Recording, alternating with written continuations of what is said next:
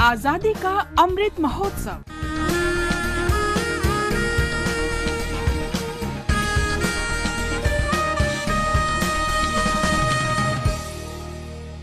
Azadi Ka Safar with AIR News Birth of a Nation. India's glorious freedom struggle is one of the greatest struggles the modern world has ever witnessed. AIR News brings you a glimpse of the struggle every day.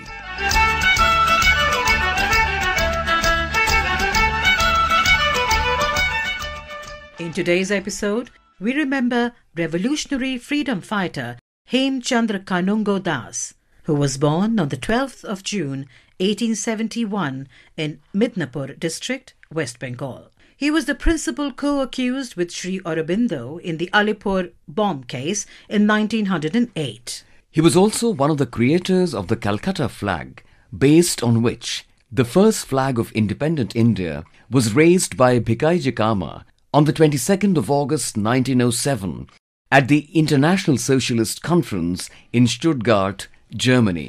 চল চল চল ঊর্ধ্ব গগনে বাজে মাদল নিম্নে উতলা ধরণী তল অরুণ প্রাতের তরুণ দল চল রে চল রে চল চল A close associate of Barindra Kumar Ghosh and Aurobindo Ghosh, Hemchandra Kanungo was instrumental in setting up a secret bomb factory. Kanungo went to Paris to learn the art of bomb making from Russian emigre in Paris. To get money for the trip, he sold his house in Calcutta. He reached Marseille towards the end of 1906 and spent a few months trying to get in contact with revolutionaries in Switzerland, France, and England. Finally, Hemchandra found a backer to support him while he studied chemistry in Paris.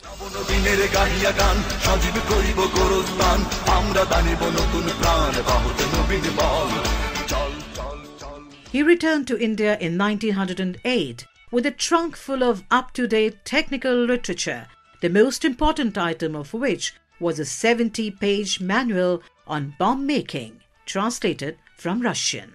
He started teaching the art of bomb making to other freedom fighters. He opened a secret bomb factory at Maniktala near Kolkata, founder members of which were Hemchandra Kanungo, Aurobindo Ghosh, and his brother Barindra Kumar Ghosh.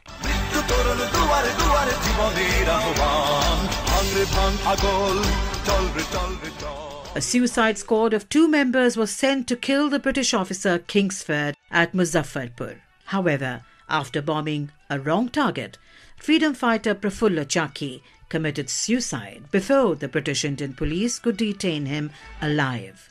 But freedom fighter Khudiram Bose was arrested. As a result of this incident, the covert bomb factory established by Hemchandra Kanungo was raided by the British police and shut down. Almost all the members were arrested in a short period of time. For his involvement in the Alipore bomb case, Hemchandra was sentenced to transportation for life in the Andamans but was released in 1921. In 1926, his book account of the revolutionary movement in Bengal was published.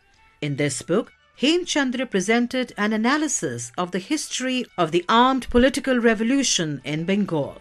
The great revolutionary died on the 8th of April 1951. AIR News salutes the great revolutionary freedom fighter. We also remember revolutionary freedom fighter Apurva Sen, who was martyred on the 12th of June 1932. A clerk at the General Post Office of Chittagong, Apurva Sen was known as Bhola in revolutionary circles. After the Chittagong Armory raid, the police were in search for the absconders. On the information provided by an informant, Captain Cameron raided the house of Savitri Chakraborty of Patia, where Apurva Sen was killed in the crossfire on the 12th of June 1932. AIR News salutes the great son of the soil.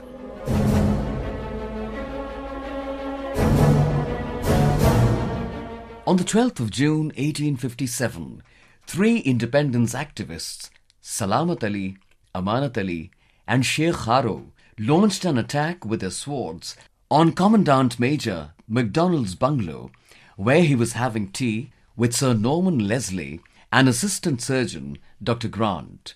Leslie was killed at once, and the other two officers were wounded. The three activists were hanged on the 12th of June 1857. We salute the great martyrs.